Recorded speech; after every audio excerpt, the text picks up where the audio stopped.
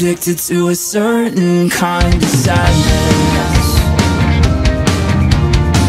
Like resignation till the end, always the end.